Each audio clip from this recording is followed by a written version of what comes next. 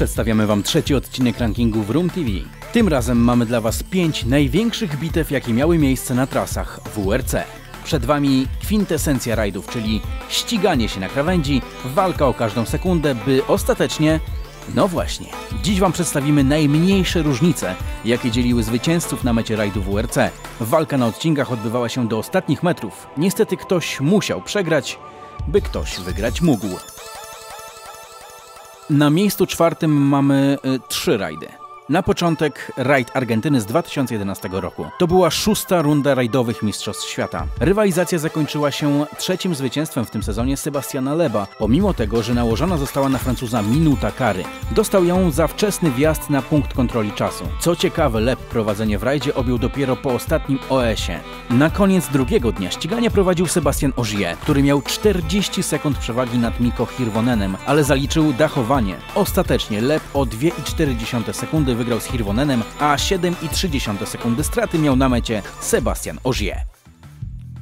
Miejsce czwarte po raz drugi. Tym razem przenosimy się do roku 2010 i śledzimy piątą rundę ówczesnego sezonu. Na czwartym odcinku specjalnym rajdu Nowej Zelandii Sebastian Lep uderza w mostek i traci ponad minutę. Francuzowi udaje się jednak wygrać prawie wszystkie odcinki specjalne drugiego i trzeciego dnia i został trzeciego dnia liderem rajdu. Na 18 OS-ie Lep uderza w drzewo i spada na trzecią pozycję. O zwycięstwo walczyli Sebastian Ogier i Jari Matti Latvala.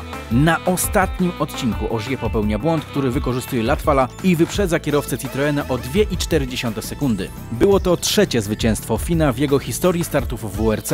Rajdu nie ukończył Peter Solberg, który jadąc na trzeciej pozycji rozbił auto na ostatniej próbie. Miejsce czwarte po raz trzeci. Jest rok 1999. Na starcie siódmej rundy rajdowych Mistrzostw Świata stają kierowcy o nazwiskach, które kibicom rajdów powodują przyspieszenie bicia serca. Oriol, Sainz, McCree, Burns, Makinen, Kankunen. 22 odcinki specjalne o łącznej długości 396 km. Prowadzenie zmienia się jak w kalejdoskopie. Po dwóch odcinkach prowadzi Sainz, po czterech Didier Oriol, po sześciu Richard Burns, po dziewięciu Juha Kankunen, po 21 odcinkach specjalnych prowadzi Richard Burns. Ale na ostatnim odcinku o długości 21 km Santa Rosa de Calamuchita prowadzenie objął Juha Kankunen. Dla czterokrotnego mistrza świata to było jedno z dwóch zwycięstw w tym nieudanym sezonie. W sumie w 1999 roku nie ukończył aż czterech rund WRC, ale o 2,4 sekundy udało mu się wyprzedzić Richarda Burnsa w Argentynie, z czego bardzo się cieszył. Miejsce trzecie. Czwarta runda rajdowych Mistrzostw Świata w 1998 roku odbywała się w Portugalii. W pierwszych trzech rundach wygrywali Sainz, Makinen i Burns. Dużo do udowodnienia miał Colin McRae, który dwóch wcześniejszych rund nie ukończył. W Portugalii jechał fantastycznie. Na 28 odcinków specjalnych wygrał aż 9 i był na prowadzeniu od trzeciego OS-u. Pomimo genialnej jazdy cały czas na ogonie siedział mu Carlos Sainz i ostatecznie różnica jaka dzieliła tych dwóch kierowców wyniosła 2,1 sekundy. Tych straconych dwóch punktów Sainzowi zabrakło do Mistrzostwa Świata w 1998 roku. Miejsce drugie.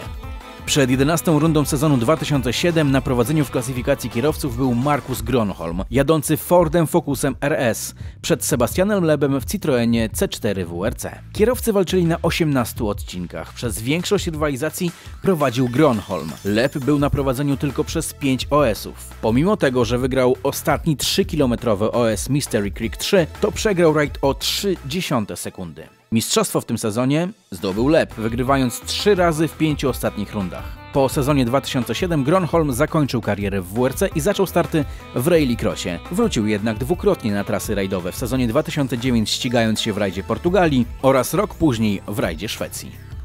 I czas na miejsce pierwsze tego rankingu. Najmniejsza różnica, jaka dzieliła zwycięzcę od drugiego miejsca w historii rywalizacji WRC. Było to w 2011 roku podczas rajdu Jordanii. Sebastiana Ogiera i Jari Matti Latwalę dzieliło jedynie dwie dziesiąte sekundy. Pierwszego dnia nie odbył się żaden z zaplanowanych sześciu odcinków specjalnych, bo protesty w tym rejonie świata oraz awaria łodzi transportującej ekwipunek nie pozwoliły na to. Drugi dzień zaczął się od wygranej Sebastiana Leba, ale później już Ogier był na prowadzeniu. Na przedostatnim odcinku specjalnym na fotel lidera wskoczył Latwala, który miał pół sekundy przewagi nad Ogierem. Ostatni odcinek o długości 10,5 km wygrał Francuz i w sumie po przejechaniu 250 OS-owych kilometrów wygrał o 0,2 sekundy. Trzeci był Sebastian Leb, który sezon zakończył mistrzostwem.